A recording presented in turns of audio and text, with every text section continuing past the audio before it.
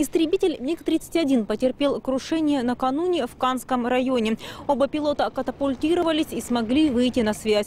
Вертолетами санитарной авиации их доставили в краевую клиническую больницу для проведения полного обследования. Врачи говорят, ребята родились в рубашке, ни переломов, ни переохлаждений, только ушибы и ссадины. А ведь катапультирование происходит на скорости почти 900 км в час. При таких перегрузках кровоизлияние и разрывы сосудов – обычное дело. Пилот и штурман приземлились в снег с высоты 2000 метров. Сейчас их состояние не вызывает опасений врачей. Они э, совершенно спокойны, э, они улыбаются, э, у них хороший аппетит, они оба выспались.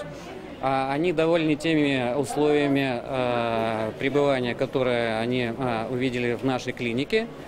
И в этом смысле мы абсолютно спокойны их за их здоровье и за их эмоциональное психологическое состояние.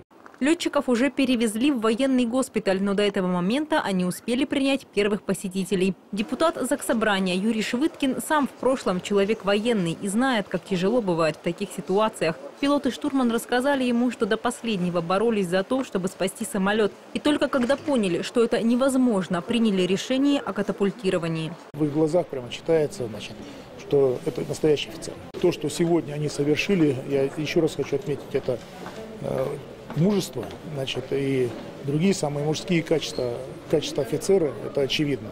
И я бы на месте командования, конечно, это на усмотрение их, я бы представил государственным наградам.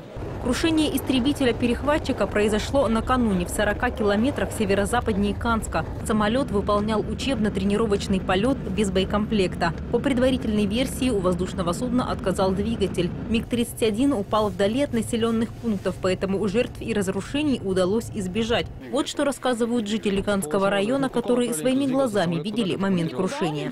Он сначала стоял стоял. Что он тут стоял, я откуда знаю. А потом полетел туда. И там за лесом от нас-то хорошо видно, здесь вообще не видать. А от нас-то хорошо видно. Там он, скорее всего, взорвался, потому что сразу зарево такое пошло. В Канске находится авиабаза истребителей МиГ-31, но пока их полеты временно приостановлены до выяснения всех обстоятельств. Возбуждено уголовное дело по статье «Нарушение правил полетов или подготовки к ним». Анна Московских, Леонид Юрков, Максим Галат. Новости.